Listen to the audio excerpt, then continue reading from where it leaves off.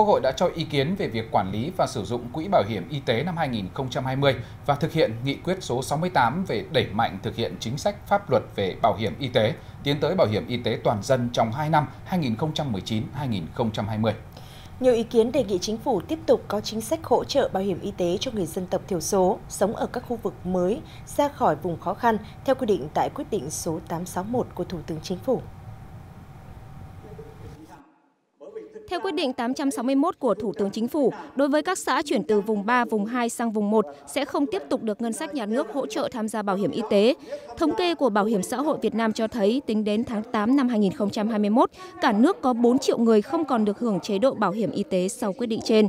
Nhiều đại biểu đề nghị chính phủ tiếp tục kéo dài thời gian hưởng chính sách bảo hiểm y tế đối với người dân ở vùng đồng bào dân tộc thiểu số, vùng có điều kiện kinh tế xã hội đặc biệt khó khăn. Nếu không, số người dân tộc thiểu số không có điều kiện tiếp cận bảo hiểm y tế là rất lớn. Chính phủ, Thủ tướng Chính phủ cần chỉ đạo các bộ ngành liên quan sớm ra soát trạng tình hình để kịp thời ban hành các chính sách phù hợp nhằm tiếp tục hỗ trợ về bảo hiểm y tế cho những người dân còn gặp nhiều khó khăn trong cuộc sống không có khả năng tự mua bảo hiểm y tế để giúp người dân, nhất là đồng bào dân tộc thiểu số có điều kiện tiếp cận các dịch vụ chăm sóc sức khỏe.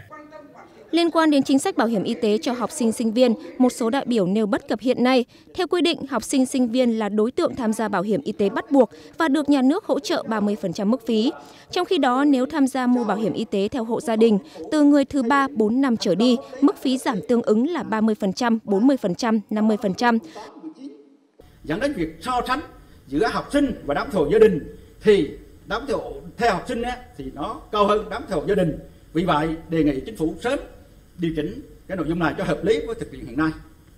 Tại phiên thảo luận, nhiều đại biểu cũng nêu bất cập trong việc thanh toán khám chữa bệnh theo bảo hiểm y tế tại các cơ sở y tế. Hiện nay, theo quy định, cơ quan bảo hiểm xã hội giao dự toán hàng năm cho các cơ sở khám chữa bệnh. Điều này dẫn đến thực tế, các cơ sở y tế vừa phải khám chữa bệnh, vừa phải tính xem có vượt dự toán hay không, gây ảnh hưởng đến chất lượng khám chữa bệnh.